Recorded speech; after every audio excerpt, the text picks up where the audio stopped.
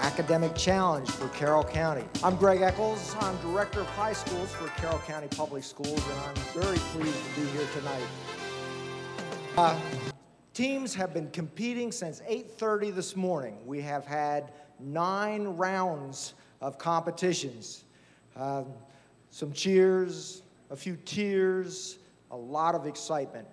But we are now at the final round, round 10, and we are ready for the teams who have scuffled all day and those who have come out on top. And we have three teams that will compete in this final round. So at this point, it's time that I introduce the teams.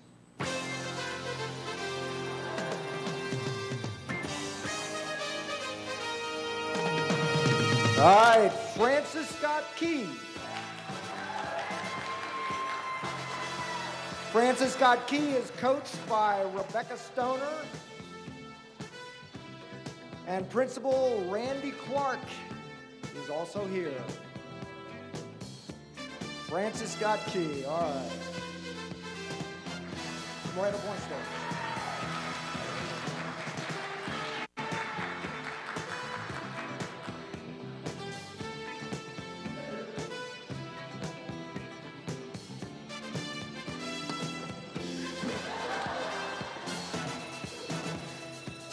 All right, and the second team in the competition.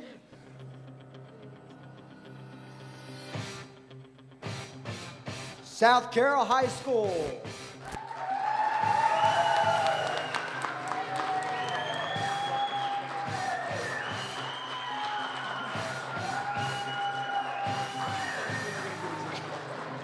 South Carroll is coached by Gary Foote, and Principal George Phillips is in the audience.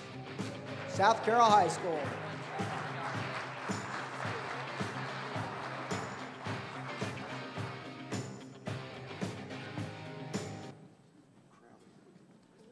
And the third team in the competition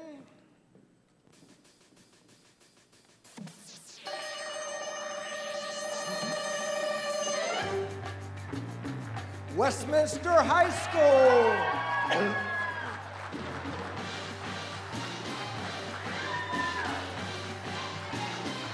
Coached by George Kramer, Denise Deagle, and Karen Eccles.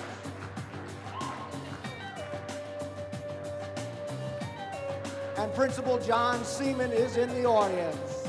Westminster High School.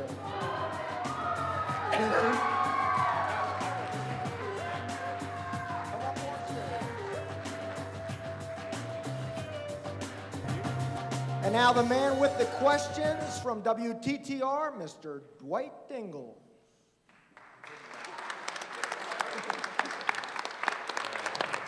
But for those listening on the radio, let's try to take a look at uh, the rules very quickly. Each, each player will get a turn for 10 questions. They have three minutes to answer those 10 questions. They may pass on up to three questions. Doesn't have to be, but they can pass up to three questions.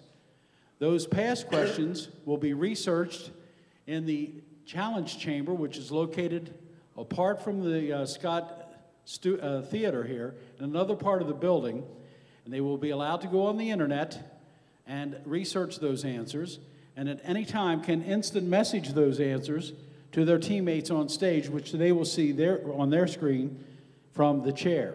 To those questions, rather, is worth 10 points. At the end of those nine people coming up and sitting in the chair, we will then have a bonus question. That question is worth 30 points.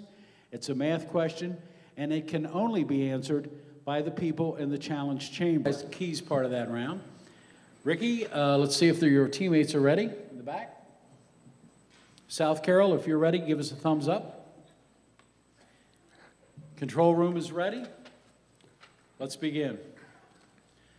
Find both the slope and the y-intercept of the line described by the equation 9x plus 3y equals 21.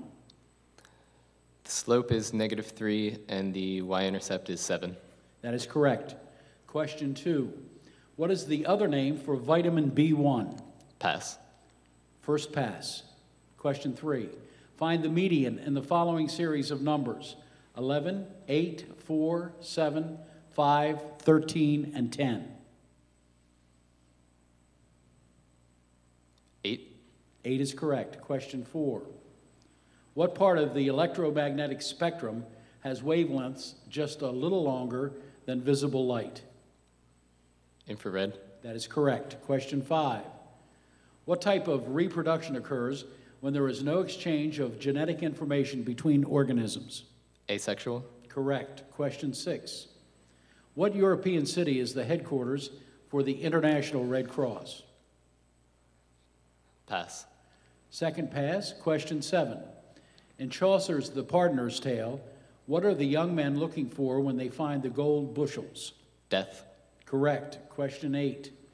What is the main book of Confucianism? Pass. That is your third pass. Question 9. In what century was Michelangelo born?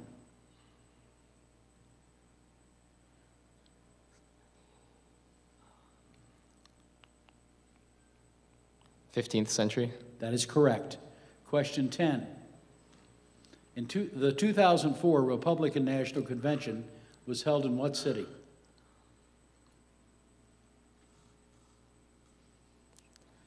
New York. That is correct. Past questions. Number two. What is the other name for vitamin B1? You may either wait to answer, pass, or answer. Thiamine.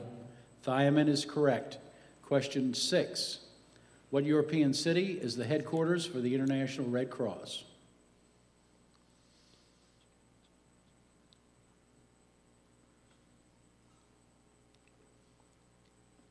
Pass. You may come back to that. Number eight. What is the main book of Confucianism?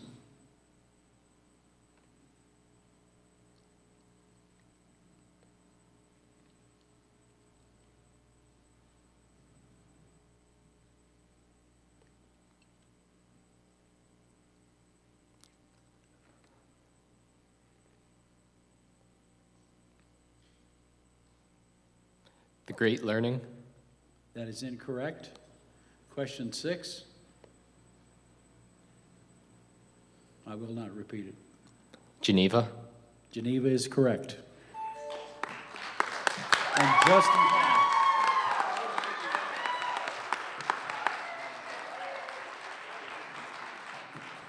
Judges have concluded that piano is incorrect. Pianoforte is the correct answer. The final question, the bonus question, is worth 30 points. And again, will only be answered by those in the challenge chamber. Remember, they can hear you back there, so please don't talk in the audience. I don't know what the radio is going to do for three minutes of total silence. Are you ready? In the back. Very good. Let's begin. A theater holds 200 people. Men pay $10. Women are charged $5. Children pay 50 cents. One evening, the theater was full and the total receipts were $200. How many of each, men, women, and children, attended? Again, please have.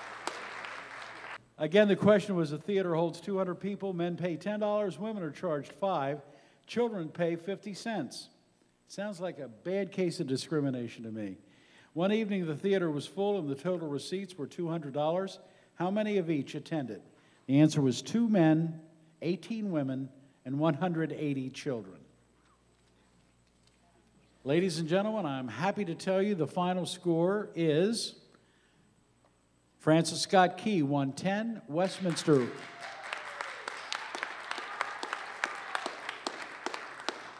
Westminster 140.